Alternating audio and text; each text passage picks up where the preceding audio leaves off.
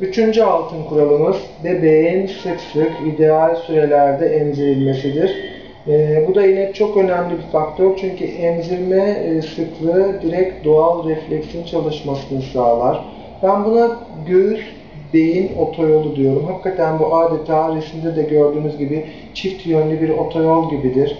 Bebek emdikçe annenin göğsündeki e, algılayıcılar bu uyarıyı alır ve sinirler aracılığıyla beyne çıkarır ve beyinde e, oksitosin ve prolaktin dediğimiz iki tane hormonun salgılanmasını sağlar bu emme uyarısı. Daha sonra yolun karşı tarafından kan yoluyla beyinden salgılanan bu hormonlar göğüs dokusuna gider ve göğüs dokusuna da süt üret ve sütü fışkırt, sütü boşalt emirlerini verir.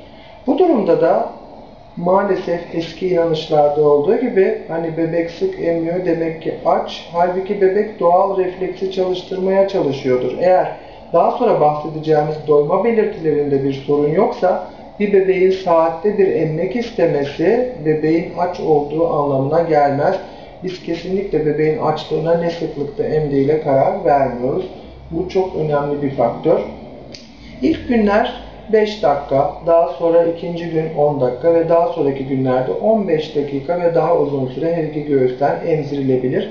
İkinci emzirme seansında bir önce bıraktığınız göğüsten başlamak yine e, önerilen bir e, yöntemdir. Zamanında normal kiloda doğan bebekler için emzirme sıklığı genellikle ağladıkça, istedikçedir ki bu ortalama 2-3 saat gibidir. Ama dediğim gibi bazı bebekler saatte bir de emmek isteyebilir. Yalnız prematüre ve düşük doğum ağırlıklı bebeklerde çok dikkat etmek gerekiyor.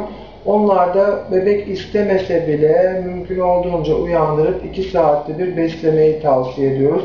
Açlık sürelerinin 2 saatten daha uzun olduğu durumlarda bu bebeklerin cilt altı yağ dokusu ve kan şekeri düzenlenmesini sağlayan glikojen depoları hem karaciğerde hem kaslarda yetersiz düzeyde olduğu için bu, bebekler, bu bebeklerin seyrek beslenmesi kan şekerinde ciddi düşmelere ve bu da ciddi sağlık sorunlarına yol açabilir. Ee, özetle sütümüzü ne kadar çok emzirirsek o kadar arttırma şansına sahibiz. Ee, kabaca bunları söyleyebiliriz.